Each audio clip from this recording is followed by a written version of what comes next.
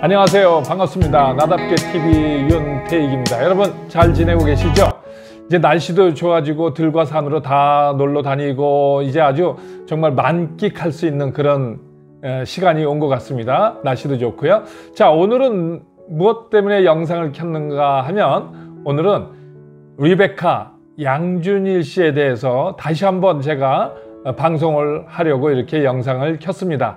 또 다시 2부에 들어가서 이분이 의식 수준이 어느 정도 되는 멘트를 하는지 보도록 하겠습니다.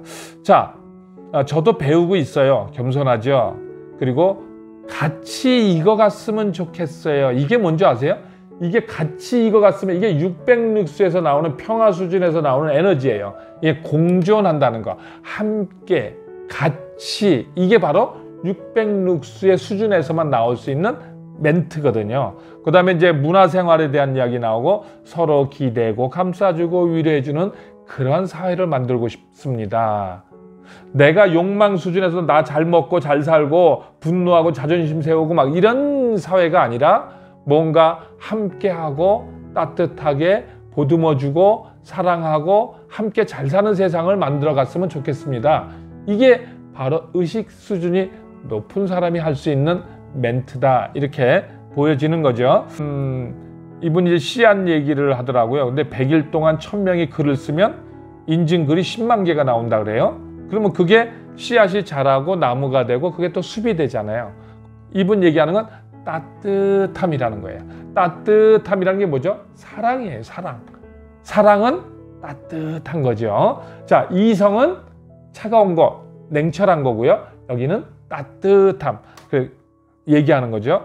저는 이 이제 제가 이제 단어를 쭉 얘기하면서 어 제가 지난번에 나답게 사는 양준일 씨 고양이 성격을 얘기하면서 제가 쓴 책 나답게의 4번 고양이 성격에 정확하게 100% 가까이 맞는다라고 말씀을 드렸잖아요. 제가 또 오늘도 제가 쓴 책 간절함이 답이다. 이게 의식 수준에 관련된 책이에요. 이게 제가 어, 처음 쓴 책이죠.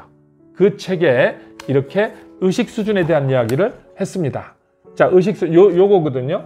음, 요거를 여러분 보시기에 이렇게 의식, 여기는 이제 의식 수준이 나오고 여기는 의식 수준이 이렇게 한 사람이 어떠한 이야기, 행동을 하고 어떠한 감정을 갖는가. 자, 여기 보면 하나 되는 감정을 갖는다. 이게 뭐 이게 뭐죠? 600룩스가 되면 하나 되는 감정을 갖는다. 이렇게 났잖아요.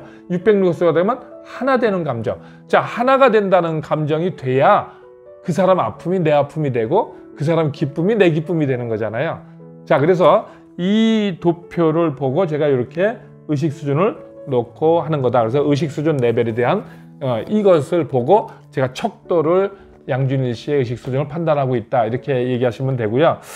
아, 제가 이제 개인적으로 느낀 것은 뭐였냐면 제가 예전에 MBC 방송에 파랑새 특강이라는 게 있었어요.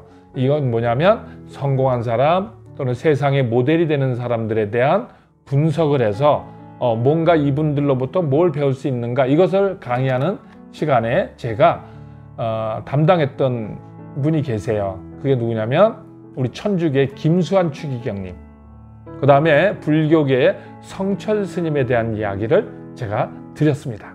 그거는 여, 여러분 유튜브 찾아보시면 나옵니다. 그런데 제가 양준실 딱 보면서 이 성철 스님과 이 불교의 배려, 그렇죠? 측은지심, 자비심이잖아요. 또 우리 천주교, 기독교는 뭐예요? 사랑이잖아요. 이 사랑과 자비가 믹스됐다. 아, 제가 좀 더 이야기를 하자면 그런 느낌을 많이 받아요.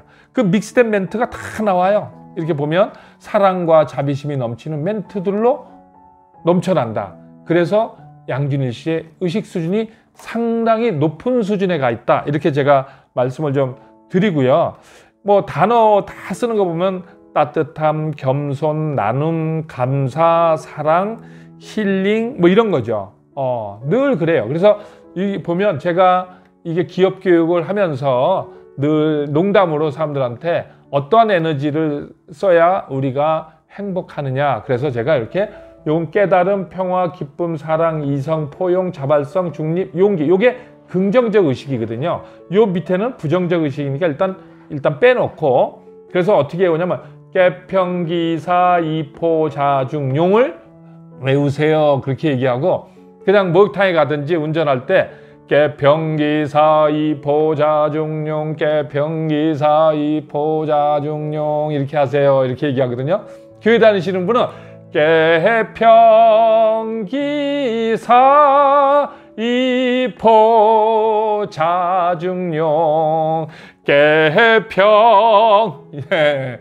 자 이러면 어떻게 되는 줄 아세요?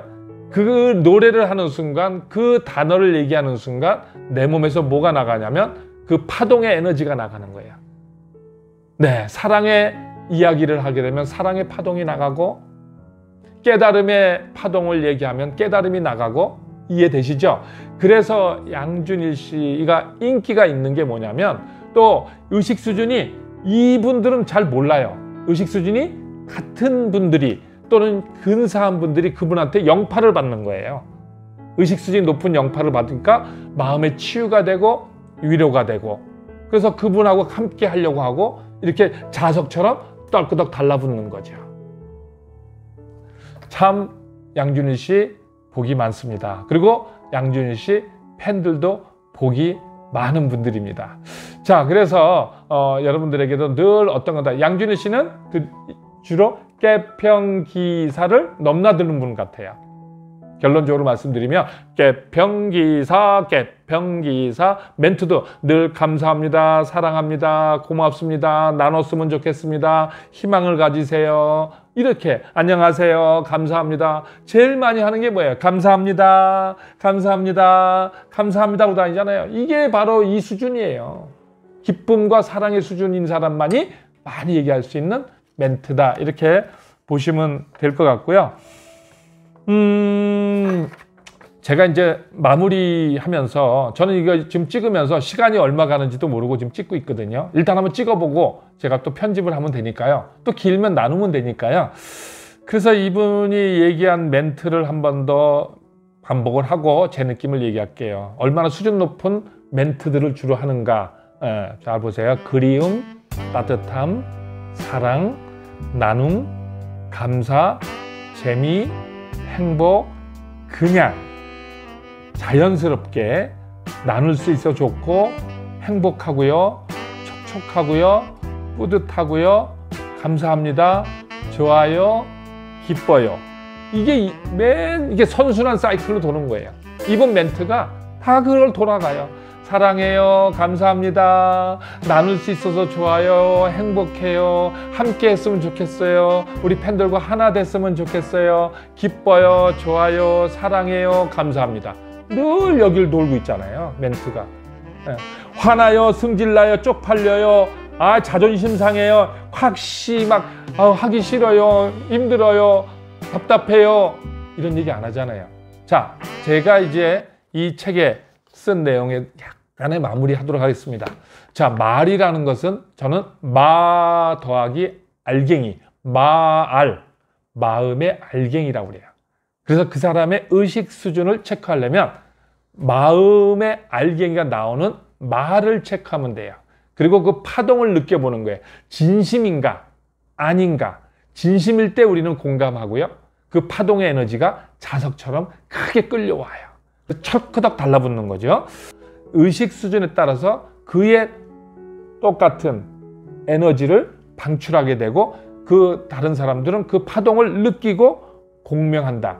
그런데 그 수준에 비슷하게 있는 사람만이 그 공명을 할 수 있다. 이렇게 생각하시면 돼요. 그래서 어, 저도 여러분 댓글에 보셨어요? 댓글 끝에 제가 감 플러스 사합니다라고 씁니다. 보신 분 계세요? 어떤 분은 이제 질문을 하실 거예요. 그거는 감사합니다와 사랑합니다를 더한 겁니다. 제가 사랑합니다 그러면 제가 좀 기존 세대잖아요. 그 남들이 오해할까봐 제가 아이디어를 내서 개발한 게 감 플러스 사합니다. 그래서 감사합니다 and 사랑합니다. 감사합니다 사랑합니다. 하루에 천 번씩 합니다. 감사합니다 사랑합니다. 늘 천 번씩 정도 하루에 해보려고 합니다. 왜? 백만송이 사랑의 장미를 피우고 싶어서 그렇습니다. 오늘 양준일 매니저님의 수준 높은 에너지에 공명할 수 있어서 너무 행복했고요. 너무 고마웠고 너무 감사했습니다. 양준일 매니저님 감사합니다. 여러분 시청해 주셔서 고맙습니다. 나답게 TV 윤태익이었습니다. 여러분 감사합니다. 그리고 사랑합니다.